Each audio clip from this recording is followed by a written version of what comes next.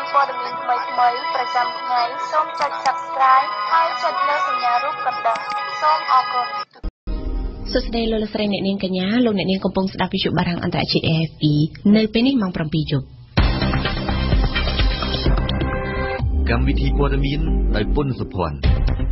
សេចក្តីស្នើច្បាប់ចំនួន4នឹងត្រូវដាក់ប្រជុំជាការប្រញាប់ពេលសភាជួលកងក្នុងសប្តាហ៍នេះសភាអឺរ៉ុបសភាអឺរ៉ុបជំរុញកម្ពុជាពិចារណាឡើងវិញមិនដឹងរំលាយបកប្រឆាំងគណៈបកសង្គ្រោះជាតិនឹងមិនរៀបចំឯកសារតតាំងតាមការបង្គាប់របស់តុលាការកំពូលទេនៅក្នុងប្រទេសបារាំងតនដិតចិត្តផុតទោសពីអ្នករៀបចំគម្រោងធ្វើភេរវកម្មពីក្នុងគុក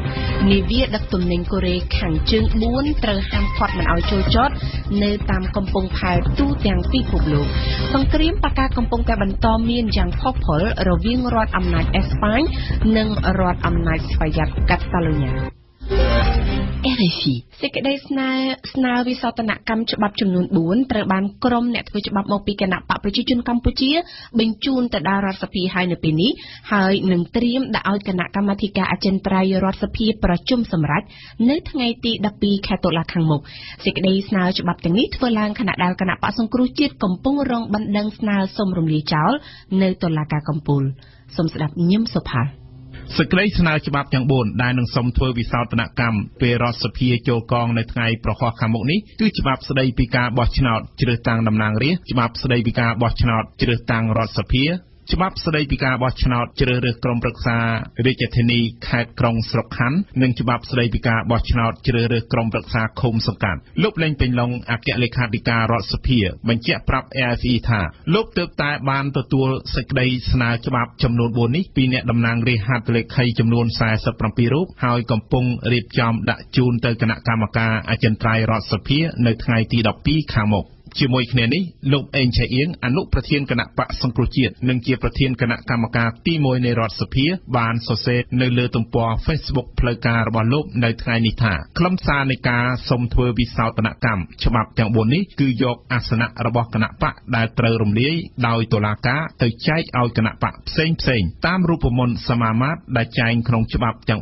4ខាងលើការលើកឡើងនេះស្របពេលដែលតុលាការកំពូលកំពុងដំណើរការនីតិវិធីទៅលើបណ្ដឹងរបស់ក្រសួងមហាផ្ទៃ ដែលបានស្នើសុំឲ្យតុលាការរំលាយគណៈបកសង្គ្រោះជាតិ តាមការស្នើរបស់គណៈបកហ្វុនស៊ីពេចនិងគណៈបកយុវជនកម្ពុជានៅក្នុងសេចក្តីស្នើធ្វើវិសោធនកម្មច្បាប់ស្តីពីការបោះឆ្នោតជ្រើសតាំងតំណាងរាស្ត្រត្រូវបានបង្ហាញពីគោលបំណងនៃការធ្វើវិសោធនកម្មនេះថាគឺសំដៅសម្រួលច្បាប់ស្តីពីការបោះឆ្នោតជ្រើសតាំងតំណាងរាស្ត្រដែលប្រកាសឲ្យប្រើដោយព្រះរាជក្រមកាលពីថ្ងៃទី26ខែមីនាឆ្នាំ2015ឲ្យមានសង្កត់ភាពជាមួយច្បាប់ស្តីពីគណៈបកនយោបាយនិងវិសោធនកម្មជាបន្តបន្ទាប់ដែលនៅជាធរមានម្យ៉ាងទៀតធានាស្ថិរភាពនយោបាយឲ្យនៅស្ថិតស្ថេរយូរអង្វែងនៅប្រទេសកម្ពុជាជាមួយគ្នានេះសេចក្តីស្នើច្បាប់ស្តីពីវិសោធនកម្មច្បាប់ស្តីពីការបោះឆ្នោតជ្រើសតាំងតំណាងរាស្ត្របានផ្ដោតទៅលើមាត្រាចំនួន1គឺមាត្រា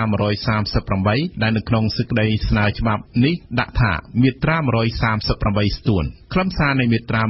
138ស្ទួននេះឲ្យដឹងថាក្នុងនីតិកាលនៃរដ្ឋសភាប្រសិនបើមានគណៈបកនយោបាយណាមួយប្រកាសបោះបង់ចោលអាសនៈឬលុបឈ្មោះចេញពីបញ្ជីគណៈបកនយោបាយឬត្រូវរំលាយស្របតាមច្បាប់ស្តីពីគណៈបកនយោបាយបញ្ជីបេក្ខជននិងតំណាងរាស្ត្រទាំងអស់នៃគណៈបកនយោបាយនោះលែងមានសុពលភាពនិងលែងមានគុណសម្បត្តិតទៅទៀត ខ្លឹមសារនៃមាត្រានេះបន្តថាក្នុងករណីខាងលើគណៈកម្មការជាតិរៀបចំការបោះឆ្នោតត្រូវធ្វើការបែងចែកអាសនៈដែលនៅទំនេរនោះក្នុងរយៈពេលយ៉ាងយូរ7ថ្ងៃទៅឲ្យគណៈបកនយោបាយនានាដែលបានចូលរួមក្នុងការបោះឆ្នោតក្នុងរាជធានីខេត្តជាមួយដោយមិនគិតបញ្ចូលគណៈបកនយោបាយដែលបោះបង់ចោលអាសនៈឬដែលត្រូវលុបឈ្មោះចេញពីបញ្ជីគណៈបកនយោបាយឬដែលត្រូវរំលាយនិងគណៈបកនយោបាយមានអាសនៈក្នុងរដ្ឋសភាដែលដឹកនាំដោយរដ្ឋាភិបាលតាមជំហានចំនួន2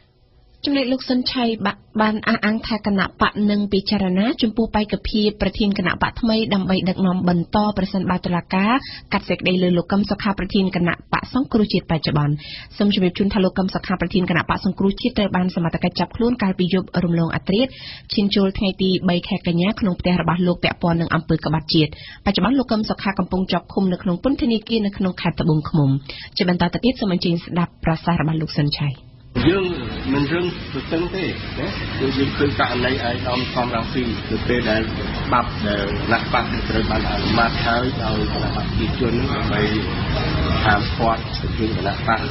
ដែលជារឿងការកាត់ក្តីពីតុលាការមិនឲ្យទៅក្នុងគណៈបកមិនឲ្យទៅតោទៅយ៉ាងណានេះថា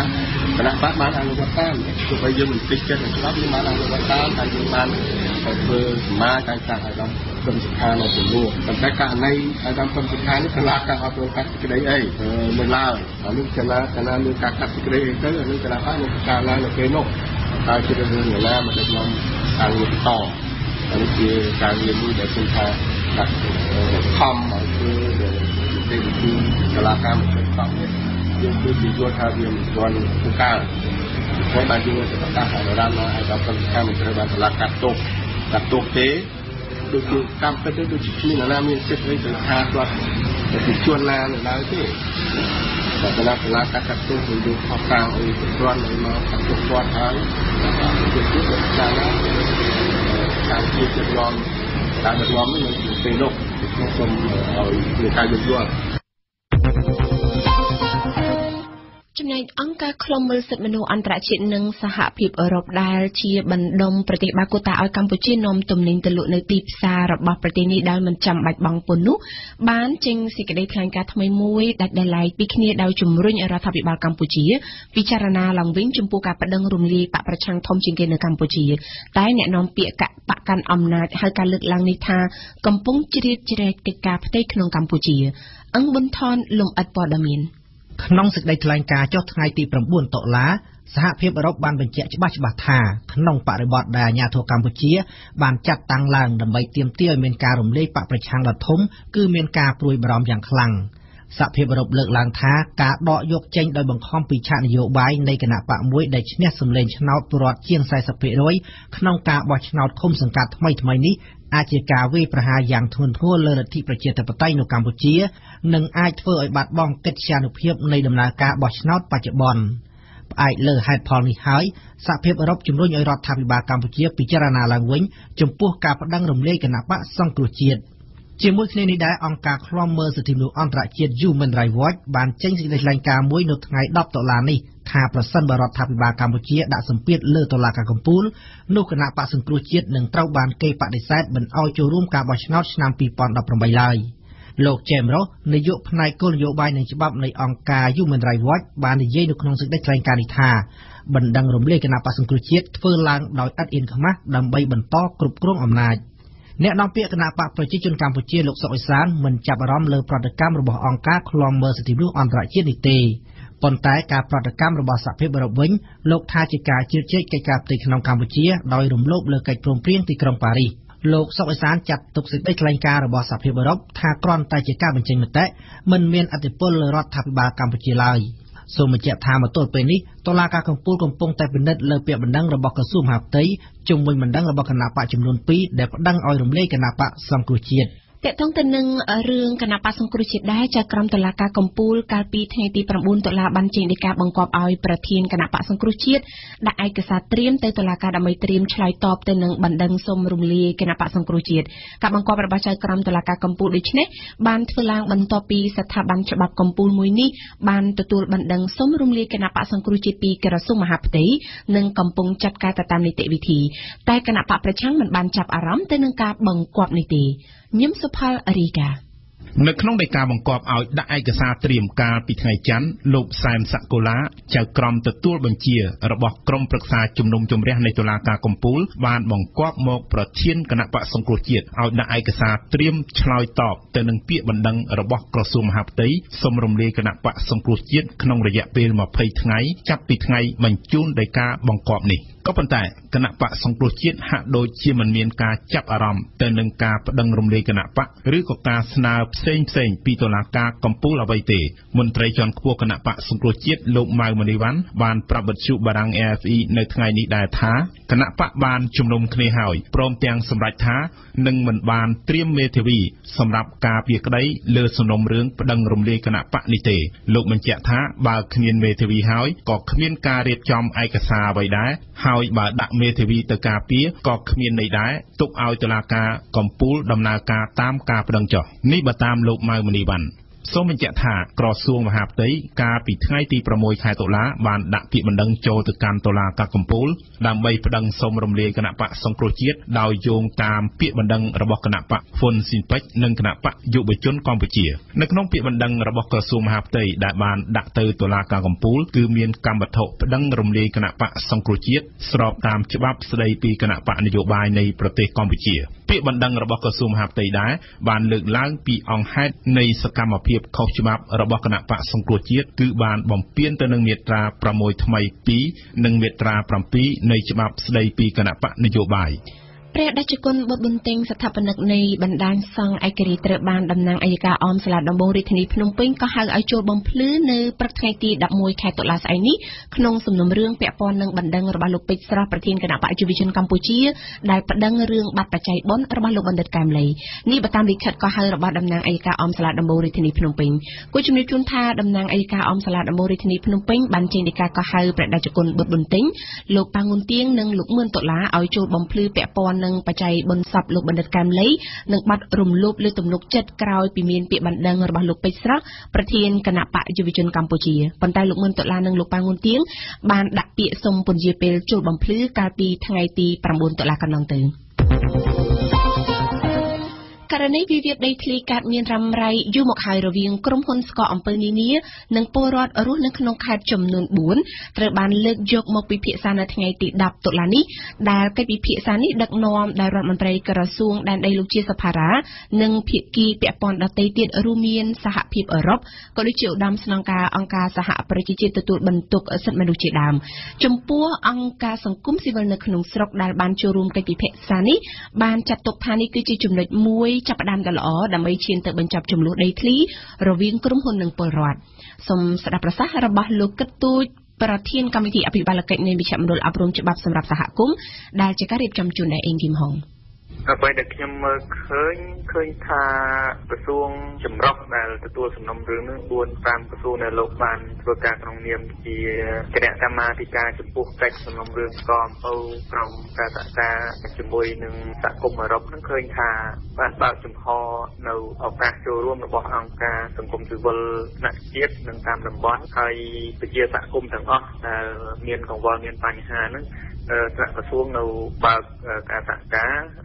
ហើយការងារអាចតំណាក់តំណងផ្ទាល់មកតាមក្រុមការងារនីមួយៗ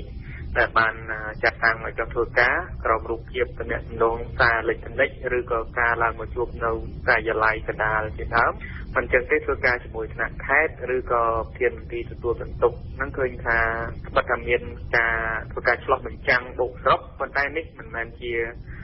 ជំហានបញ្ចប់នៅឡើយមានន័យថាផ្លូវនៅត្រូវដើរដើម្បីដោះស្រាយបញ្ចប់សំរឿងទាំងអស់បាទលោកកឹកទូចបានចាត់ទុកថានេះគឺជាដំណោះស្រាយមួយដ៏ល្អដើម្បីឈានទៅបញ្ចប់ចំនួនដរ៉ាំរ៉ៃរវាងក្រុមហ៊ុនស្គរអំពៅក៏ដូចជាប្រជាប្រដ្ឋដែលមានដំណើរដីធ្លីនៅ4ខេត្តប៉ុន្តែសុទ្ធតែវាត្រូវប្រើរយៈពេលយូរប៉ុណ្ណាទៀតទៅដើម្បីបញ្ចប់បញ្ហានេះទាំងស្រុងបើនិយាយពីការអនុវត្តជំហានបច្ចេកទេសនៅត្រូវការច្រើនថែមទៀត អឺដោយឡែកមជ្ឈមណ្ឌលអប់រំច្បាប់សម្រាប់សហគមន៍មានបំណងចូលរួមបញ្ចប់សំណុំរឿង200គ្រួសារដី300គ្រួសារនៅ300ហិកតានៅខេត្តកោះកុងដោយរងចាំតែកិច្ចព្រមព្រៀងផ្លូវការពីក្រុមហ៊ុនពេញស្កអំពៅនៅអង់គ្លេសកិច្ចក្រុមហ៊ុនផលិតស្កអំពៅនៅខេត្តកោះកុងហើយថ្នាក់ជាតិថ្នាក់ខេត្តត្រៀមលក្ខណៈរួចជាស្រេចនៅក្នុងការធ្វើផែនទីក្បាលដី អឺវាយប្លង់សក់យកដីហើយនឹងប្រកាសឲ្យប្រជាពលរដ្ឋចូលចាប់ឆ្នោតហើយនឹងអនុវត្តការតាមដុកតាមវប្បធម៌របស់គាត់តែម្ដងអញ្ចឹងហាក់ដូចជាមិនត្រូវការពេលវេលាច្រើន ដែលឡែកអគ្គនាយកមជ្ឈមណ្ឌលកុំសកម្មភាពកម្ចាត់មីនកម្ពុជាបានបញ្ជាក់នៅថ្ងៃម្សិលមិញថាការរុករកគ្រាប់បែកទម្លាក់ពីយន្តហោះប្រភេទអាវុធគីមីនៅក្នុងស្រុករមីហៃខេត្តស្វាយរៀងត្រូវបានបញ្ចប់ហើយដោយរកឃើញតែមួយគ្រាប់ប៉ុណ្ណោះប៉ុន្តែអាជ្ញាធរកម្ចាត់មីនបានរកឃើញកន្លែងដែលមានគ្រាប់បែកជាអាវុធគីមីដូចគ្នាចំនួន7កន្លែងថ្មីទៀតស្ថិតនៅក្នុងឃុំកូគីសូមស្ដាប់សឿងភារៈ លោកហេងរតនាអគ្គនាយកមជ្ឈមណ្ឌលសកម្មភាពកម្ចាត់មីនកម្ពុជាស៊ីម៉ាក់បានសរសេរនៅលើទំព័រ Facebook របស់លោកកាលពីថ្ងៃទី9ខែតុលាថា ក្រុមការងាររបស់ស៊ីម៉ាក់រកឃើញប្រភេទគ្រាប់គីមីតែមួយគ្រាប់ក្នុងបរិវេណសាលាបឋមសិក្សា និងវត្តកគីភូមិកគីឃុំកគីស្រុករមៀហែកខេត្តស្វាយរៀងលោកបន្តថាប្រភេទគ្រាប់គីមីមួយគ្រាប់ទៀតអាចស្ថិតនៅក្រោមអគារសាលាឆាន់និងអគារមួយចំនួនទៀតព្រោះក្រោយសម័យសង្គ្រាមទីវត្តអារាមខាងលើនេះបានកសាងសំណង់មួយចំនួនដូចជាសាលាឆាន់សាលាបឋមសិក្សាចំនួន2ខ្នង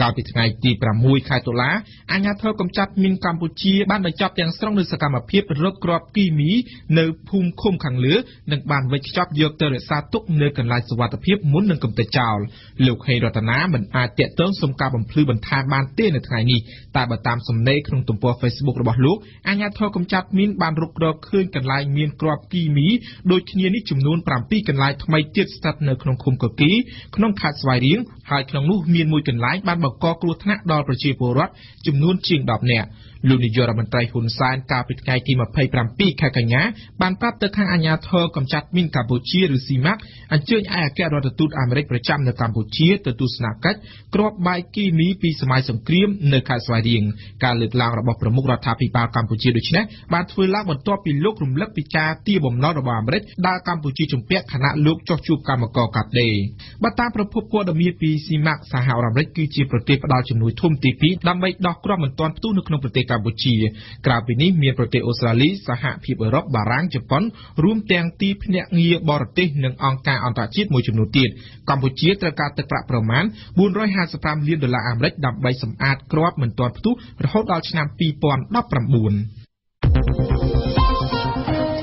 ជាងសំងាកមកជំរាបជូនពីព័ត៌មានអន្តរជាតិវិញម្ដងនៅមន្ទីរឃុំឃាំងមួយនៅក្នុងប្រទេសបារាំងទាន់ដិតពីអ្នកដែលកំពុងតែអនុវត្តទោសនិងចិត្តដល់ថ្ងៃចេញពីគុកទៅហើយនោះត្រូវបានសមត្ថកិច្ចបារាំងធ្វើការចាប់ប្រកាន់ថាបានរៀបចំគម្រោងធ្វើភេរវកម្មពីក្នុងគុកហើយផ្ដើមធ្វើសកម្មភាពបន្ទាប់ពីពួកគេចេញពីគុកយោងតាមលទ្ធផលស៊ើបអង្កេតបឋមជនទាំងពីរនាក់គឺជាមនុស្សងប់ងល់នឹងទ្រឹស្ដីអ៊ីស្លាមនិយមជ្រុលរបស់ក្រុមជីហាតអង្គការរដ្ឋអ៊ីស្លាមមុំពិសេសជូនព័ត៌មានពើស្ដា ទាន់ដិត2នាក់ម្នាក់ជាជនជាតិកាមេរូនអាយុ28ឆ្នាំនិងម្នាក់ទៀតជាជនជាតិបារាំងអាយុ22ឆ្នាំ កំពុងអនុវត្តទោសនៅមន្ទីរឃុំឃាំង France ខាងត្បូងទីក្រុងប៉ារីត្រូវបានសមត្ថកិច្ចបារាំងសង្ស័យថាបានរៀបគម្រោងធ្វើសកម្មភាពវាយប្រហារភេរវកម្មយោងតាមប្រភពពីនគរបាលប្រឆាំងភេរវកម្មបារាំងសមត្ថកិច្ចមន្ទីរឃុំឃាំងបានតាមដានដឹងតាមរយៈការនិយាយឆ្លងឆ្លើយគ្នារវាងជនទាំងពីរនៅក្នុងមន្ទីរឃុំឃាំងដែលបង្ហាញថាជនទាំងពីរមានគម្រោងធ្វើភេរវកម្មបន្ទាប់ពីចេញពីគុកក្នុងពេលមួយសប្តាហ៍ទៀតប្រពន្ធដដែលបន្តថាទីតាំងដែលជនទាំងពីរមានគម្រោងវាយប្រហារអាចមានច្រើនកន្លែងមានជាអាចគឺទីតាំងយាមសន្តិសុខនៅតាមមន្ទីរឃុំឃាំង ទីតាំងនគរបាលព្រមជាមួយនឹងគម្រោងចាប់ចំណាប់ខ្មាំងទៀតផងជនទាំងពីរត្រូវបានសមត្ថកិច្ចប្រឆាំងភេរវកម្មបារាំងសហការជាមួយនឹងមន្ទីរឃុំឃាំងតាមដានយ៉ាងសម្ងាត់អស់រយៈពេលជាច្រើនខែមកហើយរហូតនៅថ្ងៃទី2ខែតុលាក្រុមនគរបាលប្រឆាំងភេរវកម្មបានឈានទៅចាប់យកជនទាំងពីរចេញពីមន្ទីរឃុំឃាំងដើម្បីយកទៅសួរចម្លើយឆ្លងកាត់ការសួរចម្លើយជាច្រើនថ្ងៃចៅក្រមស៊ើបអង្កេតនៃបទល្មើសភេរវកម្មបានសម្រេចចោទប្រកាន់ជនទាំងពីរជាផ្លូវការទណ្ឌិតដែលជាជនជាតិកាមេរូនត្រូវបានគេសង្ស័យថាជាអ្នកផ្ដាំគំនិតហើយជននេះជាជនអ៊ីស្លាមជ្រុលនិយមនិងបានតាក់ទងជាមួយមនុស្សម្នាក់នៅតំបន់កាន់កាប់ដោយក្រុមជីហាតអង្គការរដ្ឋអ៊ីស្លាមក្នុងទឹកដីស៊ីរីនិងអ៊ីរ៉ាក់ក្នុងពេលសួរចម្លើយជននេះបានទទួលស្គាល់ថាខ្លួនពិតជាមានគម្រោងធ្វើភេរវកម្មពិតមែនការស៊ើបអង្កេតក៏បានអនុញ្ញាតឲ្យសមត្ថកិច្ចបារាំងឈានទៅចាប់ឃាត់ខ្លួនមនុស្សម្នាក់ទៀតនៅកោះរេអ៊ីញ៉ុងដែលតាមការសង្ស័យជននោះមានគម្រោងមកបារាំងដើម្បីសហការជួយជនទាំងពីរខាងលើក្នុងប្រតិបត្តិការភេរវកម្ម គូបញ្ជាក់ដែរថាមន្ទីរឃុំឃាំងបារាំងគឺជាជំរកនៃការរីកសាយភាយនៅទំនោរអ៊ីស្លាមជ្រុលនិយមក្នុងចំណោមអ្នកទោសមន្ទីរឃុំឃាំង France គឺជាមន្ទីរឃុំឃាំងមួយក្នុងចំណោម3នៅប្រទេសបារាំងដែលអាជ្ញាធរបារាំងបានបង្កើតឲ្យមានការតាមដានពិសេសទៅលើអ្នកទោសគួរឲ្យសង្ស័យមួយចំនួនពីកម្រិតនៃការអូសទាញសាបព្រោះទ្រឹស្ដីអ៊ីស្លាមជ្រុលនិយមទៅកាន់អ្នកទោសផ្សេងទៀត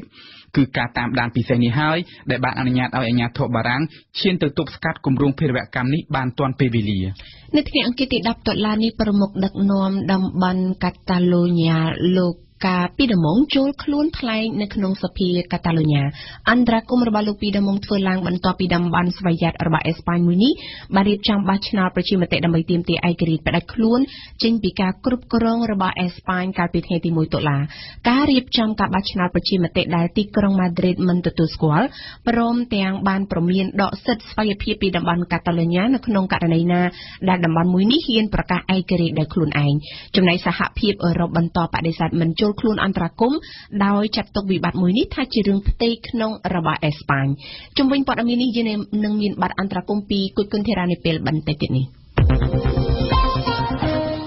ដើម្បីអនុវត្តការដាក់ទណ្ឌកម្មសេដ្ឋកិច្ចទៅលើកូរ៉េខាងជើងឲ្យមានប្រសិទ្ធភាពអង្គការសហប្រជាជាតិបានសម្រេចហាមឃាត់នាវាដឹកទំនិញចំនួន4មិនឲ្យចូលចតនៅតាមកំពង់ផែណាទាំងអស់នៅទូទាំងពិភពលោកនាវាទាំង4នោះត្រូវបានគេជឿថាបានដឹកទំនិញរបស់កូរ៉េខាងជើងយកទៅក្រៅប្រទេសបំពេញនឹងវិធានការទណ្ឌកម្មរបស់អង្គការសហប្រជាជាតិសូមស្ដាប់មុំពិសេស នេះគឺជាលើកទី1ហើយដែលអង្គការសហប្រជាជាតិបានហាមឃាត់នាវាដឹកទំនិញមិនឲ្យចូលចតនៅតាមកំពង់ផែនានាទូទាំងពិភពលោកលោក Hugh Griffith អ្នកទទួលបន្ទុកសំណុំរឿងកូរ៉េខាងជើងនៅអង្គការសហប្រជាជាតិបានកោះប្រជុំតំណាងប្រទេសសមាជិកអង្គការសហប្រជាជាតិទាំងអស់នៅថ្ងៃទី9តុលាដើម្បីប្រាប់ពីដំណឹងស្ដីពីការហាមឃាត់នាវាដឹកទំនិញចំនួន4មិនឲ្យចូលចតតាមកំពង់ផែនានាមន្ត្រីទូតរបស់កូរ៉េខាងជើងក៏មានវត្តមានក្នុងពេលប្រកាសដំណឹងនេះដែរតែមិនបានប្រតិកម្មអ្វីទាំងអស់សេចក្តីសម្រេចនេះត្រូវបានគណៈកម្មការទទួលបន្ទុកសំណុំរឿងទណ្ឌកម្មលើកូរ៉េខាងជើងសម្រេចកាលពីថ្ងៃទី5តុលាលោក Hugh Griffith បានអះអាងថាឆ្លងកាត់ការតាមដានស៊ើបអង្កេតនាវាទាំង4គឺជានាវាដឹកទំនិញចេញចូលកូរ៉េខាងជើងដូចជាដឹកធ្យូងថ្ម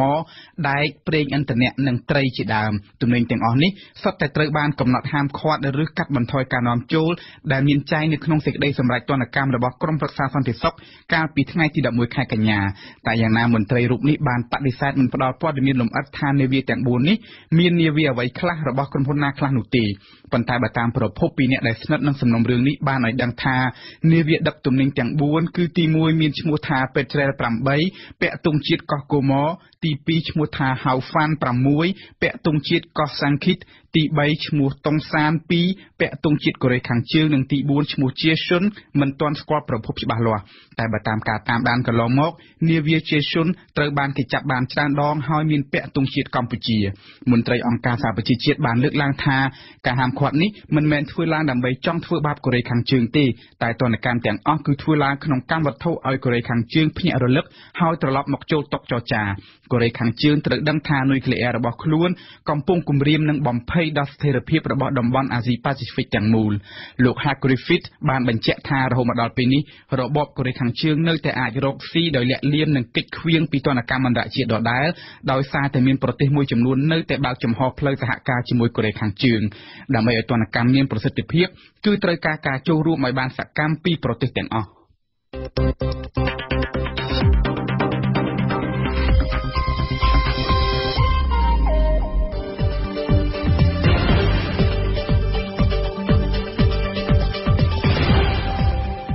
វិទ្យុបារាំង RFI ភ្នំពេញ92 MHz សៀមរាប92 MHz បាត់ដំបង ក្រុងព្រះសីហនុនិងកំពង់ចាម94.5 MHz លោកអ្នកនាងកំពុងស្ដាប់កម្មវិធីព័ត៌មានរបស់វិទ្យុបារាំងអន្តរជាតិ AFP ជាបន្តទៅទៀតនេះលោកអ្នកនាងនឹងបានស្ដាប់ដំបូងគឺជានាទីភ្ញៀវប្រចាំថ្ងៃរៀបចំជូនដៃសឿងភារៈនៅថ្ងៃនេះភារៈបានជួបសម្ភារលោកហងពុធាក្រោយមកគឺជានាទីព្រឹត្តិការណ៍អន្តរជាតិប្រចាំថ្ងៃយើងមានបទអន្តរកម្មពីគួយគុណធារានាទីបទយការបស់យើងនៅថ្ងៃនេះរៀបចំជូនដោយអឹមណាវិននិងនៅចុងបញ្ចប់នៃកម្មវិធីរបស់យើងគឺជានាទីអសរសិល្ប៍ខ្មែររបស់វ៉ាន់ឌីកអនភ្ញៀវប្រចាំថ្ងៃ ភ្ញៀវប្រចាំថ្ងៃរបស់វិទ្យុបារាំងអន្តរជាតិនៅថ្ងៃនេះគឺលោកហងពុធាអ្នកនាំពាក្យគណៈកម្មាធិការជាតិរៀបចំការបោះឆ្នោតកោជបលោកហងពុធាបានឆ្លើយតបទៅនឹងការលើកឡើងដែលថាស្ថានភាពនយោបាយបច្ចុប្បន្ននេះធ្វើឲ្យប្រជាពលរដ្ឋមិនទៅចុះឈ្មោះបោះឆ្នោតនោះគឺជាការលើកឡើងដោយឡែកដោយឡែករបស់បុគ្គលហើយកោជបមិនទាន់ឃើញស្ថាប័នណាលើកឡើងដោយមានហេតុផលត្រឹមត្រូវនៅឡើយទេលោកហងពុធាសង្ឃឹមថាប្រជាពលរដ្ឋនឹងទៅចុះឈ្មោះបោះឆ្នោតឲ្យបានច្រើននៅគៀកថ្ងៃបិទបញ្ចប់នៃដំណើរការចុះឈ្មោះបោះឆ្នោតរៀបចំធ្វើបច្ចុប្បន្នភាពបញ្ជីបោះឆ្នោតថ្មីជាបន្តទៅទៀតនេះសូមអញ្ជើញស្ដាប់បទសម្ភាសន៍រវាងសឿងភារៈនិងលោកហងពុធាជំរាបសួរអាដាមហងពុធាបាទបាទសូមជំរាបសួរបងប្អូនជនរួមជាតិនិងលោកតំណាងវិទ្យុបារាំងតែបាទ បាទអរគុណអាដាមដែលបានផ្ដល់បទសម្ភាសន៍ដល់វិទ្យុបារាំងអន្តរជាតិ AFE នៅរាត្រីនេះអាដាមនៅសល់រយៈពេលតែ30ថ្ងៃទៀតទេការចុះឈ្មោះបោះឆ្នោតរៀបចំធ្វើបច្ចុប្បន្នភាពបញ្ជីបោះឆ្នោតនឹងត្រូវបិទបញ្ចប់ពលគឺការចុះឈ្មោះបោះឆ្នោតគ្រោងនឹងបញ្ចប់នៅថ្ងៃទី9ខែវិច្ឆិកាខាងមុខនេះអាដាមតើមានពលរដ្ឋប៉ុន្មានអ្នករហូតមកដល់ពេលនេះដែលបានទៅចុះឈ្មោះបោះឆ្នោតនោះបាទបាទគិតមកដល់ថ្ងៃទី9ខែតុលាឆ្នាំ2017 គណៈកម្មការជាតិរៀបចំការបោះឆ្នោតបានទទួលការចុះឈ្មោះថ្មីចំនួន347,649នាក់ហើយបើគិតទៅនឹងតួលេខតាំងពីចុះឈ្មោះថ្មីមួយលាន6សែននាក់នោះគឺអឺក៏ជាបបប្រតិបត្តិការចុះឈ្មោះ20.38%ហើយបាទ បាទអាដាមមានការលើកឡើងថាតួលេខ21%ឬក៏34ម៉ឺននាក់ហ្នឹងគឺនៅតិចតួចនៅឡើយអាដាមអាចឆ្លើយតបយ៉ាងណាដែរបាទបាទបើយើងពិនិត្យពីតួលេខនេះប្រៀបធៀបនឹងរយៈពេលថ្ងៃដូចគ្នានៃការជឿគូបោះឆ្នោតឆ្នាំ2016នេះគឺឃើញមានតិចណាស់ប៉ុន្តែតួលេខនេះយើងមិនអាចប្រៀបធៀបគ្នាទៅឆ្នាំ2016បានទេដោយសារបរិយាកាសសភាពការវាខុសគ្នាខុសគ្នាត្រង់ដែលថា 2016ជាការចុះឈ្មោះដើម្បីរៀបចំនីតិបោះឆ្នោតថ្មីហើយតួលេខបានស្មានប្រជាពលរដ្ឋដែលអញ្ជើញទៅចុះឈ្មោះបោះឆ្នោតហ្នឹងមានចំនួនជាជាងបាទហើយសម្រាប់ការធ្វើបច្ចុប្បន្នភាពនិងចុះឈ្មោះបោះឆ្នោតឆ្នាំ2017នេះតួលេខបញ្ហាអ្នកចុះឈ្មោះថ្មីហ្នឹងគឺមានតែលេខ6សាអ្នកទេបាទអញ្ចឹងប្រៀបធៀបយ៉ាងណាក៏នៅតែតួលេខបច្ចុប្បន្នភាពនេះឃើញថាតិចណាប៉ុន្តែ បើយើងគិតមកវិញថាបច្ចុប្បន្នយើងជួបបាន21.38%នៃពលរដ្ឋតាមស្មានហើយតាមន័យថាប្រជាពលរដ្ឋនៅទីក្រុងប្រទេសពីមុនមកមានតែ81.38%ឥឡូវនេះធ្វើលេខអឺក្នុងវិជាជួបបោះឆ្នោតបានកើនដល់ទៅ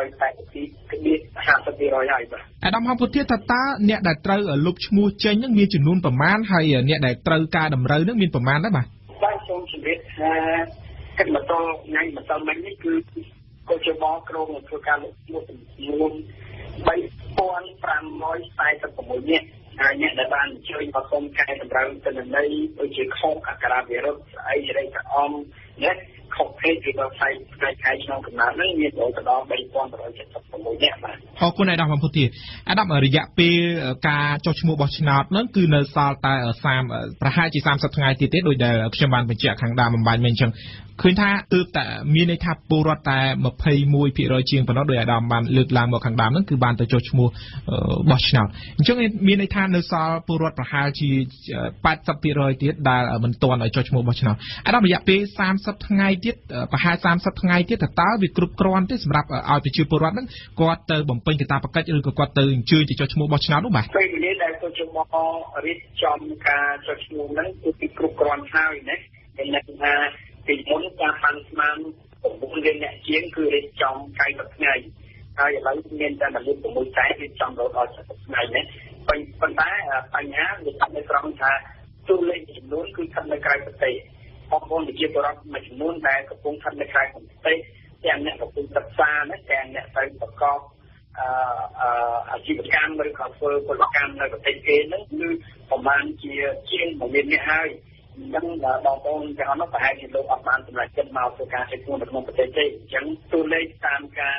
ជិតស្ទង់ណានឹងការទទួលបានព័ត៌មានពីគណៈកម្មការខេត្តរៀបចំការបោះឆ្នោតឃើញថាអ្នកដែលនៅក្នុងគុំសង្កាត់ហ្នឹងមានជាតិតិចទួចទេដែលអត់ទាន់បានទៅចុះឈ្មោះបោះឆ្នោតដែលសង្គមថាពួកគាត់ដល់ភាគឯកបាត់បោះចុះឈ្មោះគឺថាគាត់នឹងជួយទៅច្រើនក្នុងការចុះឈ្មោះណាប៉ុន្តែ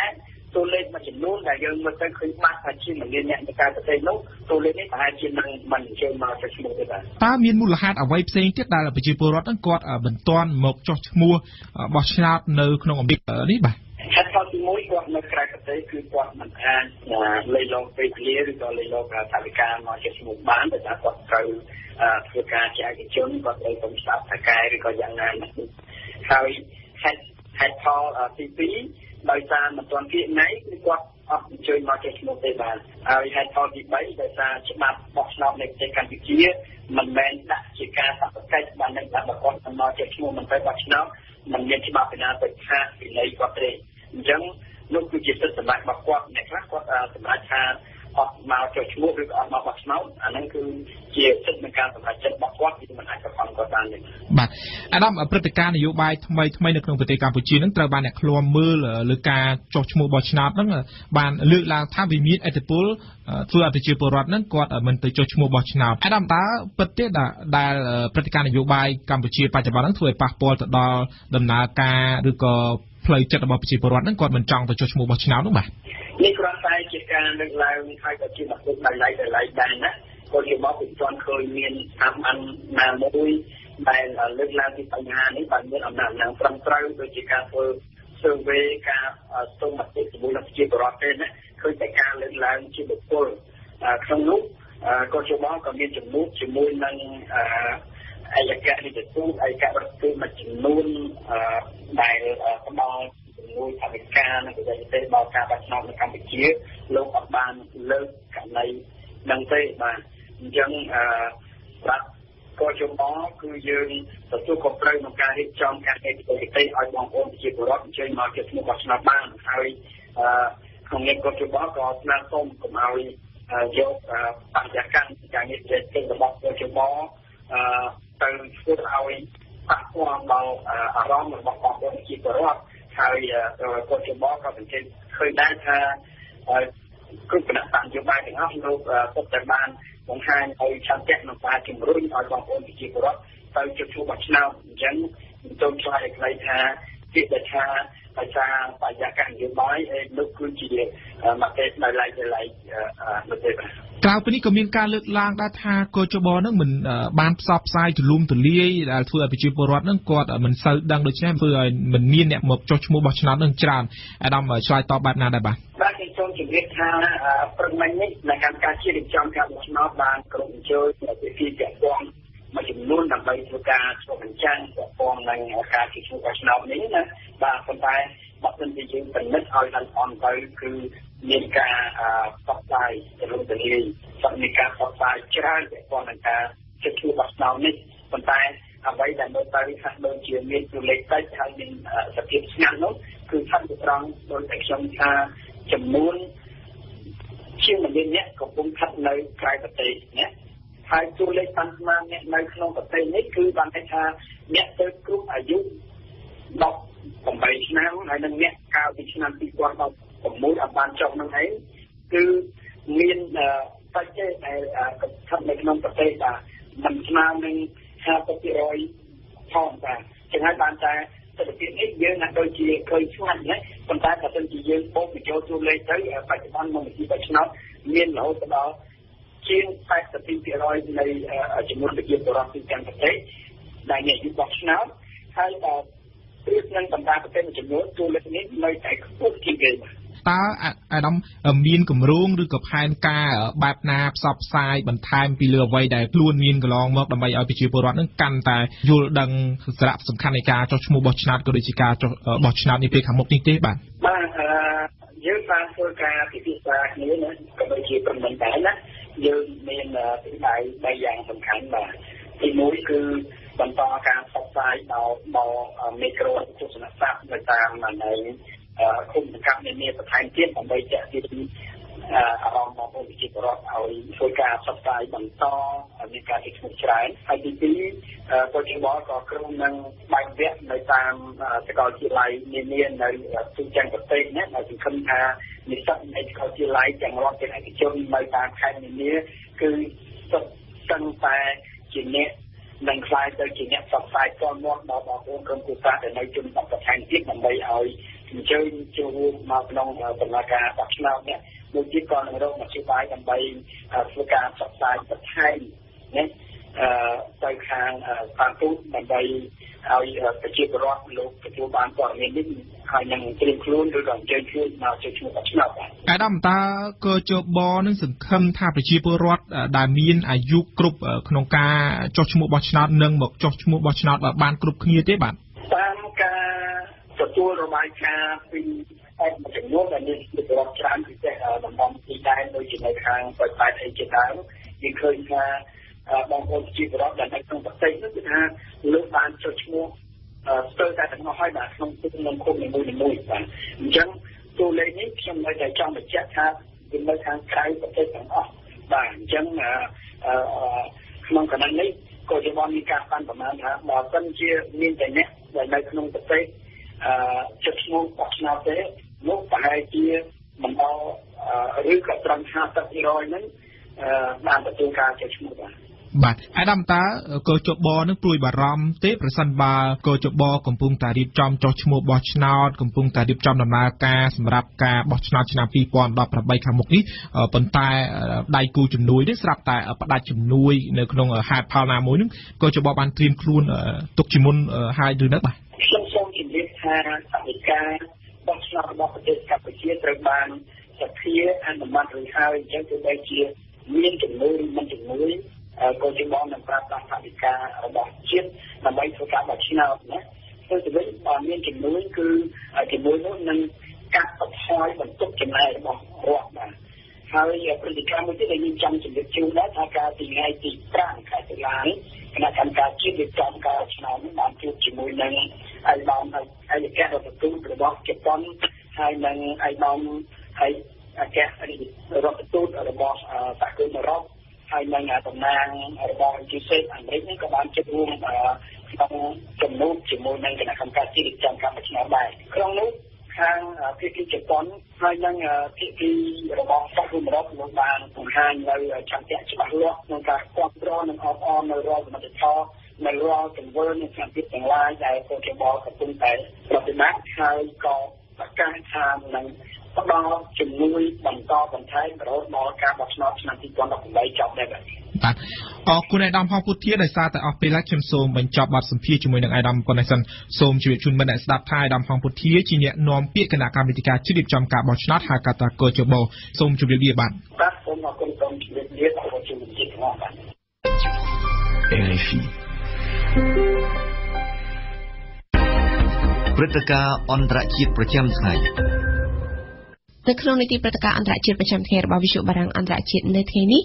យើងនិយាយពីសង្គ្រាមបាកាកំពុងបន្តមានយ៉ាងផុសផុលរវាងរដ្ឋអំណាចអេស្ប៉ាញ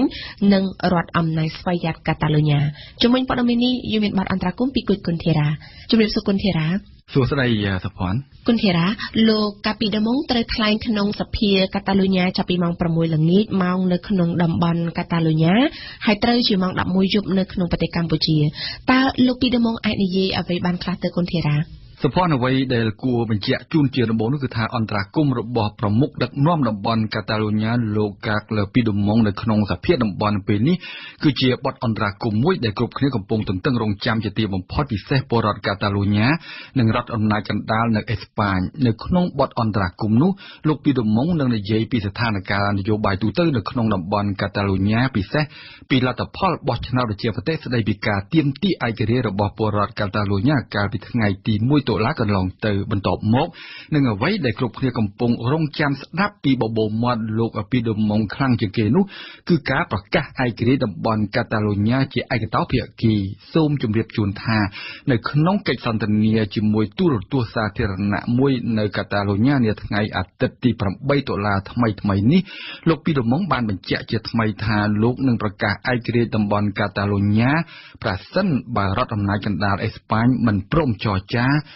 និងមិនយល់ព្រមទទួលសំណើរបស់លោកដែលសុំឲ្យមានបេសកកម្មសម្របសម្រួលពីភាគីទី3ដើម្បីដោះស្រាយបញ្ហាទេនោះ តែរដ្ឋអំណាចកណ្ដាលអេស្ប៉ាញនិងរូបនាយករដ្ឋមន្ត្រីអេស្ប៉ាញធ្លាប់បានបញ្ជាក់និងព្រមានម្ដងជាពីរដងថារដ្ឋអំណាចអេស្ប៉ាញមិនចរចាជាដាច់ខាតដល់រាបណារដ្ឋអំណាចកាតាឡូញ៉ាមិនដកគំនិតចង់បានឯករាជ្យចេញវិញទេព្រមទាំងព្រមានត្រង់ត្រង់ថាបើតំបន់កាតាឡូញ៉ាហ៊ានប្រកាសឯករាជ្យជាឯកតោភាគីរដ្ឋអំណាចអេស្ប៉ាញនឹងដកសិទ្ធិស្វ័យភាពពីតំបន់កាតាឡូញ៉ាវិញ សំណួរតើលោកពីដូម៉ុងហ៊ានប្រកាសឯករាជ្យតំបន់កាតាឡូញ៉ាជាឯកតោភាគីដែរឬទេសុភ័ណ្ឌចានៅក្នុងករណីដែលលោកពីដូម៉ុងប្រកាសឯករាជ្យតំបន់កាតាឡូញ៉ាមែនតើនឹងមានរឿងអ្វីខ្លះកើតឡើងឬមួយក៏ថានឹងអាចមានសេណារីយ៉ូអ្វីខ្លះនាពេលខាងមុខ នៅចំពោះមុខសុភ័ណ្ឌគឺភាពប្រេះឆាកាន់តែខ្លាំងនិងកាន់តែធ្ងន់ធ្ងររវាងរដ្ឋអំណាចកណ្ដាលអេស្ប៉ាញនិងរដ្ឋអំណាចតំបន់កាតាឡូញ៉ាដោយខ្ញុំបានបញ្ជាក់នៅមុននេះស្រាប់ថាវិបត្តិនយោបាយរវាងអេស្ប៉ាញនិងតំបន់ស្វ័យយ័តកាតាឡូញ៉ាហាក់បានឈានមកដល់ផ្លូវទាល់មួយដែលគ្មានច្រកចេញដោយភាគីម្ខាងម្ខាងបន្តប្រកាន់ជំហរតឹងរឹងរៀងរៀងខ្លួននៅម្ខាងប្រមុខដឹកនាំកាតាឡូញ៉ាលោកកាក្លាពីដូម៉ុង នៅតែចចេះចង់បានឯករាជ្យនោះបើទោះបីជាលោកបានទុកផ្លូវចរចានិងចង់ឲ្យមានអន្តរាគមន៍ពីភាគីទី3ក៏ដោយចំណែកនៅម្ខាងទៀតរដ្ឋអំណាចកណ្ដាលអេស្ប៉ាញបានបដិសេធយ៉ាងដាច់អហង្ការដោយមិនចង់ឮនិងមិនចង់ឃើញតំបន់ស្វយ័តកាតាលូញ៉ាផ្ដាច់ខ្លួនចេញពីការគ្រប់គ្រងរបស់ខ្លួនឡើយនៅត្រង់ចំណុចនេះថ្នាក់ដឹកនាំអេស្ប៉ាញបានលើកយកច្បាប់រដ្ឋធម្មនុញ្ញត្រង់មាត្រាទី155ទៅសំអាងដែលថាទីក្រុងម៉ាឌ្រីតមានសិទ្ធិដកស្វ័យភាពពីតំបន់ណាមួយនិងយកតំបន់នោះមកគ្រប់គ្រងវិញប្រសិនបើតំបន់ស្វ័យយ័តនោះបំពានច្បាប់រដ្ឋធម្មនុញ្ញនឹងធ្វើឲ្យប៉ះពាល់ដល់ផលប្រយោជន៍ទូទៅរបស់អេស្ប៉ាញតែបញ្ហានៅត្រង់ថាមាត្រាទី155ហាក់បានបង្កប់ដោយភាពស្រពេចស្រពិលមួយចំនួនតាក់ទងនឹងការព្យួរដំណើរការរបស់រដ្ឋាភិបាលឬមួយក៏ការរំលាយសភាតំបន់ស្វយ័តដែលជាប់ពាក់ព័ន្ធម្យ៉ាងទៀតការអនុវត្តនីតិវិធីមួយនេះ ក៏ត្រូវឆ្លងកាត់ច្រើនដំណាក់កាលរហូតដល់ការបោះឆ្នោតនៅព្រឹទ្ធសភាអេស្ប៉ាញផងដែរយ៉ាងណាក៏ដោយសភ័ណ្ឌនឹងក្នុងករណីណាដែលតំបន់កាតាឡូញ៉ាប្រកាសឯករាជ្យរដ្ឋាភិបាលអេស្ប៉ាញអាចប្រើមាត្រាទី116មួយទៀតមុននឹងមាត្រាទី155នៃច្បាប់រដ្ឋធម្មនុញ្ញមាត្រាទី116គឺការប្រកាសអាសន្ននៅក្នុងតំបន់កាតាឡូញ៉ាកន្លងមកលោកប្រមុខរដ្ឋាភិបាលអេស្ប៉ាញ Mariano Rajoy មិនដែលបានលើកមាត្រាទី116ទៅនិយាយទេ តែលោកធ្លាប់បានបញ្ជាក់ថាមិនញញើតនឹងចាត់វិធានការគ្រប់បែបយ៉ាងដែលស្របច្បាប់ទេអសភ័នចាគុណធីរ៉ាបាននិយាយពីរឿងសេដ្ឋកិច្ចដោយមិនប្រឡូកប្រឡាក់នឹងរឿងនយោបាយវិញតើតំបន់កាតាលូញ៉ាអាចនឹងរស់នៅហើយកសាងអនាគតដោយខ្លួនឯងបានដែរឬទេ អ្វីដែលគួរបញ្ជាក់ជូនជាដំបូងសម្ព័ន្ធពិតមែនតែកាតាលូញ៉ាជាតំបន់ស្វ័យយ័តរបស់អេស្ប៉ាញមែនតែជាតំបន់ដែលស្ថិតក្នុងតំបន់ចៃប្រាក់អឺរ៉ូដូចនៅក្នុងប្រទេសអេស្ប៉ាញទាំងមូលដែរតែគេមិនត្រូវភ្លេចនិយាយទេថាបើធៀបនឹងតំបន់ស្វ័យយ័តផ្សេងទៀតនៅអេស្ប៉ាញកាតាលូញ៉ាជាតំបន់សក្តានុពលសេដ្ឋកិច្ចដ៏សំខាន់ជាងគេរបស់អេស្ប៉ាញចំពេលដែលពលរដ្ឋអេស្ប៉ាញទូទៅទទួលបានប្រាក់បៀវត្សប្រចាំឆ្នាំជាមធ្យមចំនួន22,978អឺរ៉ូពលរដ្ឋកាតាលូញ៉ាទទួលបានជាមធ្យមចំនួន29,000 728អឺរ៉ូកាតាលូញ៉ាជាតំបន់សេដ្ឋកិច្ចទី5របស់អេស្ប៉ាញព្រោះជាតំបន់ដែលតាំងដោយរោងចក្រសហគ្រាសគ្រប់ប្រភេទដូចយ៉ាងគីមីវេយ្យានភ័ណ្ឌអេឡិចត្រូនិកម្ហូបអាហាររថយន្តឬមួយក៏គ្រឿងម៉ាស៊ីនគ្រប់ប្រភេទឃើញថាអ្វីដែលកាតាលូញ៉ាមាននាពេលបច្ចុប្បន្នគឺពិតជាគ្រប់គ្រាន់ដើម្បីឲ្យតំបន់មួយនេះ អាចរស់នៅកសាងអនាគតដោយខ្លួនឯងដោយមិនបាច់ពឹងលើរដ្ឋអំណាចកណ្ដាលអេស្ប៉ាញទេ តែសំណួរដែលកំពុងចោទពេលនេះគឺថាបើកាតាលូញ៉ាប្រកាសឯករាជ្យផ្ដាច់ចេញពីការគ្រប់គ្រងរបស់អេស្ប៉ាញមែនតើស្ថានភាពសេដ្ឋកិច្ចរបស់តំបន់កាតាលូញ៉ានៅដដែលឬមួយក៏មានការផ្លាស់ប្ដូរហើយបើផ្លាស់ប្ដូរតើផ្លាស់ប្ដូរក្នុងទិសដៅមួយណាលោករដ្ឋមន្ត្រីសេដ្ឋកិច្ចអេស្ប៉ាញបានព្រមានទុកជាមុនថាបើកាតាលូញ៉ាប្រកាសឯករាជ្យ តំបន់មួយនេះនឹងខ្ទាតចេញពីសមាជិកអឺរ៉ុបនិងចេញពីតំបន់ចៃប្រាក់អឺរ៉ូហើយផលិតផលសរុបក្នុងស្រុករបស់កាតាលូញ៉ាអាចនឹងធ្លាក់ចុះពី25ទៅ30% ពិតណាស់ថាគណៈនេះសង្គ្រាមបការវាងរដ្ឋអំណាចអេស្ប៉ាញនិងរដ្ឋអំណាចកាតាលូញ៉ាហាក់មិនសូវប៉ះពាល់ផ្នែកសេដ្ឋកិច្ចប៉ុន្មានទេ តែបើវិបត្តិមួយនេះអូសបន្លាយយូរគ្មានច្រកចេញនឹងការធ្វើពហិការមិនទិញផលិតផលកាតាលូញ៉ាពីបរដ្ឋអេស្ប៉ាញទូទៅនោះផលវិបាកសេដ្ឋកិច្ចនឹងកើតមាន ដោយជៀសមិនរួចចូលកុំភ្លេចថាពលរដ្ឋអេស្ប៉ាញភាគច្រើនបានប្រឆាំងនឹងការទាមទារឯករាជ្យរបស់ពលរដ្ឋកាតាឡូញ៉ាទន្ទឹមគ្នានេះភាពស្រពេចស្រពិលផ្នែកនយោបាយនៅកាតាឡូញ៉ាអាចធ្វើឲ្យក្រុមអ្នកវិនិយោគកាតាឡូញ៉ានិងបរទេសបដូរទីតាំងទៅរកស៊ីនៅកន្លែងផ្សេងវិញបើតាមមើលទៅអសភ័នភាពប្រទុសរាយរវាងរដ្ឋអំណាចអេស្ប៉ាញនិងរដ្ឋអំណាចកាតាឡូញ៉ាអាចនឹងអូសបន្លាយយូរដោយគេនៅមិនទាន់ដឹងថាតើទីបញ្ចប់របស់វានឹងទៅជាយ៉ាងណាទេអសភ័នអរគុណគុណធីរាចំពោះបទអន្តរាគមន៍នៅថ្ងៃនេះ RFI កម្មវិធីនេះសហការឧបត្ថម្ភដោយកែនប្រូប៊ីយ៉ូទិកជាផលិតផលធម្មជាតិ100%មានប្រសិទ្ធភាពខ្ពស់ដល់សុខភាពដូចជាជួយសម្រួលការរំលាយអាហារបំបត្តិ stress ធ្វើឲ្យពិសាបាយបានសម្រានលក់ស្រួលនិងបំបត្តិការឈឺសន្លាក់ឆ្អឹងកែនប្រូប៊ីយ៉ូទិកជាផលិតផល PPM និង Confidel ហើយចែកចាយដោយក្រុមហ៊ុន DKSH ផាកាហ្វេជាភោជនីយដ្ឋានបម្រើគុយទាវកាហ្វេឈ្ងុយឆ្ងាញ់ចាប់ពីព្រឹករហូតដល់ល្ងាចនិងជាទីកន្លែងបង្កើនមិត្តភាពសហគ្រិនភាពដៃគូពាណិជ្ជកម្មរបស់លោកអ្នកសាកលវិទ្យាល័យឯកទេសនៃកម្ពុជា CUS សិក្សាដើម្បីគុណភាពសិក្សាដើម្បីសមត្ថភាពវិជ្ជាជីវៈសិក្សានៅ CUS សៀនវីញូលីងកាហ្វេដោយម៉ាស៊ីនប្រូបាតដែលមានតែមួយគត់នៅកម្ពុជាទំនាក់ទំនងតាមទូរស័ព្ទលេខ011 816 222និង011 816 222បទយូកា ពលរដ្ឋមួយចំនួននិយាយថាស្ងាត់ស្ងាត់ប្រេងសាំងបានឡើងថ្លៃជិតដល់4000រៀលវិញហើយធ្វើឲ្យប៉ះពាល់ដល់ជីវភាពរបស់ពួកគាត់ប្រេងសាំងឡើងថ្លៃខណៈដែលប្រាក់ខែគោលរបស់កម្មករនៅក្នុងឧស្សាហកម្មកាត់ដេរឡើងដល់170ដុល្លារនៅក្នុងឆ្នាំ2018ចាប់ពីឆ្នាំ2018មន្ត្រីរាជការក៏មានប្រាក់បៀវត្សទាបបំផុត1លានរៀលដែរគ្រប់វិស័យបានឡើងប្រាក់ខែតែពលរដ្ឋថាបើប្រាក់ខែឡើងទំនិញក៏ឡើងថ្លៃដូចជាសាំងក៏ឡើងថ្លៃនោះនោះការឡើងថ្លៃប្រាក់បៀវត្សរបស់ពួកគាត់ក៏គ្មានតម្លៃដែរសូមជឿស្ដាប់បទយការបស់អឹមណាវិនតែអាសង្ការៈវា3008បើយើងចាក់សាំងដបនេះហ្នឹងវាតែ3300ឯងឡើងថ្លៃបាទហើយអាហ្នឹងវាមានបញ្ហាខ្លះខ្លះដែរនៅក្នុងជីវភាពអ្នកដែលគ្នាសត់ខ្សោយក៏សម្រាប់គេណាមានគេមិនសំខាន់ទេអាហ្នឹងតែសម្រាប់យើងអ្នកក្រវាឡើងកាន់តែខ្ពស់យើងកាន់តែយ៉ាប់ដែរមិនតន់ទៀត ខ្លាំងមកនេះបើឡើងតិចចឹងវាអត់អីដូចធម្មតាមើលទៅបាទកុំឲ្យឡើងដល់5000អីហ្នឹងពួកគាត់សង្សឹងជាអ្នកប្រើប្រេងសាំងប្រចាំថ្ងៃនៅក្នុងការរស់នៅជាអ្នកផ្ដល់ប្រាក់ឲ្យកូនសម្រាប់ចាក់សាំងទៅរៀនជាអ្នករត់ម៉ូតូរត់រមាក់កង់3ដែលត្រូវប្រើប្រាស់សាំងនៅក្នុងអាជីពរបស់ខ្លួនជាអ្នកដែលត្រូវការចាក់សាំងជិះម៉ូតូជិះរថយន្តទៅធ្វើការដោយដែលពួកគាត់បានលើកឡើងហើយគឺមានអ្នកខ្លះ បារម្ភតិចអ្នកខ្លះបារម្ភច្រើនហើយអ្នកខ្លះមិនទាន់បារម្ភចំពោះការឡើងថ្លៃប្រេងសាំងនាពេលបច្ចុប្បន្ននេះទេតែអ្វីដែលពួកគាត់គាត់សម្គាល់គឺថាប្រេងសាំងបានឡើងថ្លៃនៅក្នុងពេលដែលស្ថានភាពនយោបាយនៅកម្ពុជាកំពុងឡើងកម្ដៅបរដ្ឋនិយាយថាចុះបើអ្នកនយោបាយកុំឆ្លុះគ្នាហើយមកដោះស្រាយបញ្ហាជីវភាពបរដ្ឋដោយជាការធ្វើយ៉ាងណាឲ្យតម្លៃប្រេងសាំងនេះថោកដោយជាប្រទេសជិតខាងនោះនោះមិនមែនជាការល្អឬទេសាំងនៅ3500សងសងឥឡូវឡើងទៅណី ឲ្យតែពេលទ្រូត្រើត្រើអញ្ចឹងមានតែឡើងថ្លៃយើងពិបាកទេហើយមើល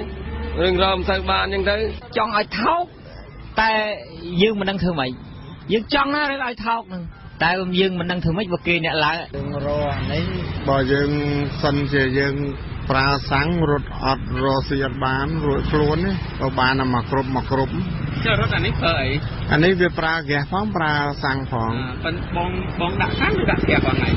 អាហ្នឹងខ្ញុំប្រើហ្គាសប៉ះពាល់បំផុតសំខាន់ថាវិការហ្នឹងហ្មងតែប្រាក់ចំណូលយើងរកបានទៀប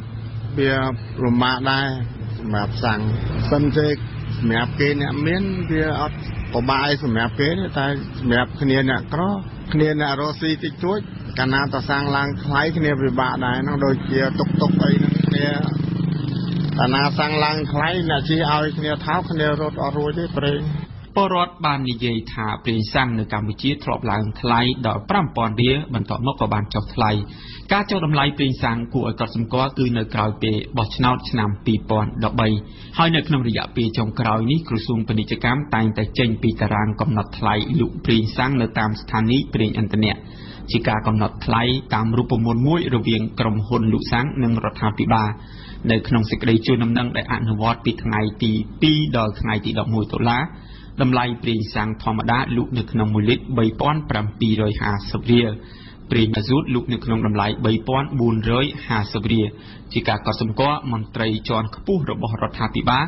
តែងតែអះអាងថារដ្ឋបានចំណាយខាតស្ងាត់ស្ងាត់ទៅលើពន្ធប្រេងសាំងនេះប្រេងសាំងចាប់ផ្ដើមឡើងថ្លៃបន្តិចបន្តួចបើគេពិនិត្យលើតម្លៃប្រេងសាំងនៅក្នុងរយៈពេលចុងក្រោយនេះតែបរដ្ឋ ដែលបានត្អូញត្អែពីការឡើងថ្លៃប្រេងសាំងនេះនិយាយថាគាត់ផ្ដើមព្រួយបារម្ភដូច្នេះដោយសារតែកម្ពុជាមានករណីចម្លែកចម្លែកខុសពីប្រទេសគេខ្លះដែលអ្វីអ្វីឡើងពិបាកនឹងចុះមកវិញបើចុះក៏ចុះយឺតតែបើឡើងគឺឡើងលឿនណាស់ដល់ពេលឡើងឡើង100ទៅ200ដល់ពេលចុះវិញចុះតែ50ទេយើងគិតមើលទៅលោកប៉ៅស៊ីណាប្រធានសហភាពចលនាកម្មករកម្ពុជាក៏បានចាប់អារម្មណ៍ពីការឡើងថ្លៃនេះដែរលោកថាសាំងឡើងថ្លៃ នឹងធ្វើឲ្យប៉ះពាល់ដល់ជីវភាពបរិវត្តក្រីក្រ ជាពិសេសកម្មករកាត់ដេរនោះកាលណាបើទំនិញទីផ្សារឡើងថ្លៃអតិថិជនឡើងថ្លៃបូករួមទាំងប្រេងសាំងឡើងឡើងផងវាប៉ះពាល់ទាំងអស់មានន័យថាកម្មករយុជិតក៏គាត់ត្រូវការបង្កើនការចំណាយដែរមានន័យថាគាត់ជិះម៉ូតូគាត់នឹងបង្កើនការចំណាយទៅស្រ័យសាំងគាត់បន្ថែមទៀតគាត់ពីប្រេងសាំងឡើងថ្លៃអ មួយទៀតអ្នកដែលជិះរថយន្តដាក់ខែភាគច្រើននៅតាមបណ្ដាខេត្តយើងឃើញថាគាត់ជិះរថយន្តឈ្នួលដាក់ខែបាទអញ្ចឹងកាលណាបើព្រះអង្គឡើងថ្លៃម្ចាស់រថយន្តដែលគាត់ជិះដាក់ខែហ្នឹងក៏គាត់ត្រូវតម្លើងថ្លៃដែរអញ្ចឹងកម្មករត្រូវបង្ខំចិត្តតម្លើងថ្លៃវិធាដែរបាទអញ្ចឹងប្រសិនបើអាជ្ញាធរឬមួយក៏រដ្ឋាភិបាលជួយសម្រួលក្នុងការទប់ស្កាត់ ឲ្យមានការបញ្ចុះតម្លៃប្រេងសាំងក្នុងកម្រិតមួយសមរម្យគឺគិតថាវាឆ្លើយតបទៅនឹងអ្វីដែលយើងកំពុងតែប្រឹងប្រែងដើម្បីរួមចំណែកក្នុងការលើកកម្ពស់ជីវភាពកម្មករខ្មែរយើងឲ្យគាត់មានជីវភាពមួយ សមរម្យមិនខុសពីលោកប៉ៅស៊ីណានោះទេបរដ្ឋបានដឹងថាប្រេងសាំងជាប្រភពសំខាន់ដែលនាំឲ្យទំនិញនិងសេវាកម្មនានាឡើងថ្លៃប្រសិនជាប្រេងសាំងមានតម្លៃខ្ពស់នោះពេលអាសាំងធ្លាក់ថ្លៃទំនិញវាអត់ព្រមធ្លាក់តាមសាំងទេបាទសាំងឡើងវាឡើងវាឡើងលឿនហើយដល់ពេលធ្លាក់ថ្លៃសាំងធ្លាក់ថ្លៃវិញទំនិញគឺអត់ធ្លាក់នៅនៅដដែលហើយធ្លាក់ក៏ធ្លាក់ទីងទីងទីងមែនតើ វាខុសគ្នាឆ្ងាយអាត្រង់ឡើយចឹងអាការឡើងសាំងថ្លៃហ្នឹងវាមិនមែនប៉ះពាល់ទៅការប្រើប្រាស់សាំងទេវាអាចប៉ះពាល់ដល់ទំនិញផ្សេងៗអញ្ចឹងណាបាទទំនិញតែកណាសាំងឡើងទៅទំនិញវាឡើងតាមហ្នឹងដែរបាទវាធ្វើឲ្យទំនិញផ្សេងផ្សេងឡើងថ្លៃដែរកាលណាតាក្នុងឡើងថ្លៃហើយទំនិញផ្សេងផ្សេងក៏ត្រូវតែឡើងថ្លៃដែរមុនធ្លាប់ឃើញគេចុះថ្លៃដែរតែតែចុះបានតាមួយផ្លែតយើងដល់ពេលហើយ សាំងឡើងវិញដដែលអាហ្នឹងវាឥឡូវចង់ឲ្យសាំងចុះថ្លៃណានិយាយជារួមទៅបរដ្ឋាភិបាលគិតថាវាមួយចំនួនគាត់លំបាកឲ្យគាត់សុំឲ្យគាត់ចុះថ្លៃបន្តិចទៅព្រោះជាពលរដ្ឋយើងសប្ថ្ងៃពេលច្រើនអ្នកក្រច្រើនអញ្ចឹងសម្រាប់គេអ្នកមានអត់សំខាន់ទេតែសម្រាប់យើងអ្នកក្រគ្នារកស៊ីតិចតួចអាហ្នឹងបរដ្ឋាភិបាលអាចជួយបានជាពលរដ្ឋក៏ សប្បាយចិត្តដែរជាការកត់សម្គាល់គណៈកម្មការប្រឹក្សាការងារទើបតែសម្រេចដំឡើងប្រាក់ខែគូដល់កម្មករកាត់ដេរសម្លៀកបំពាក់និងដេរស្បែកជើងនៅកម្ពុជាក្នុងឆ្នាំ2018ខាងមុខនេះចំនួន170ដុល្លារជាការឡើងថ្លៃប្រាក់ឈ្នួលអបបរមានាពេលបច្ចុប្បន្ននេះដែលមានត្រឹមតែ153ដុល្លារនោះចំណែករដ្ឋាភិបាលក៏បានដំឡើងប្រាក់បៀវត្សមន្ត្រីរាជការនិងការផ្ដល់អត្ថប្រយោជន៍នានាជាបន្តបន្ទាប់ចាប់ពីឆ្នាំ2018នោះទៅប្រាក់ខែមន្ត្រីរាជការគឺមិនទាបជាង1លានរៀលនោះទេជាមួយការសប្បាយចិត្តត្រេកអរនឹងការដំឡើងប្រាក់ខែទាំងខាងវិស័យឯកជននិងមន្ត្រីរាជការនោះ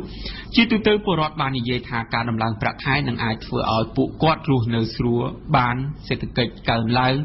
លុះត្រាតែការដំឡើងប្រាក់ខែនោះតែទំនិញនៅលើទីផ្សារគឺមិនឡើងថ្លៃបើដំឡើងប្រាក់ខែហើយទំនិញឡើងថ្លៃដែរនោះដូចជាការឡើងថ្លៃប្រេងសាំងនាពេលបច្ចុប្បន្ននេះជាដើមនោះ នោះជីវភាពមន្ត្រីរាជការកម្មករកាដេមិនប្រសើរឡើងនោះទេប្រាក់ខែកោឡើងខ្លាំងចាស់ជួលគេឡើងដែរសម្ដីមហូបឯឡើងតាមហ្នឹងដោយសារតែរដ្ឋាភិបាលនិងក្រុមហ៊ុនឯកជនលក់សាំងមានរូបមន្តកំណត់ថ្លៃលក់ប្រេងសាំងជាទៀងទាត់នោះគេត្រូវរងចាំមើលទៀតថានៅសប្តាហ៍ក្រោយប្រេងសាំងនៅស្រុកខ្មែរបន្តឡើងថ្លៃទៀតឬក៏ត្រូវចុះថ្លៃនោះ លោកអ្នកស្ដាប់វិទ្យុបារាំងអន្តរជាតិ AFP នៅពេលនេះកម្មវិធីព័ត៌មានរបស់យើងបានឈានចូលមកដល់ទីបញ្ចប់អរគុណចំពោះការយកចិត្តទុកដាក់តាមដានស្ដាប់របស់អស់លោកអ្នកសូមអរគុណរ៉ូសាដែលបានជួយបញ្ជាខាងផ្នែកបច្ចេកទេសនៅពេលនេះនាងខ្ញុំប៉ុនសុភ័ណ្ឌនិងសហការីវិទ្យុបារាំងអន្តរជាតិ AFP សូមអរគុណសូមជម្រាបលា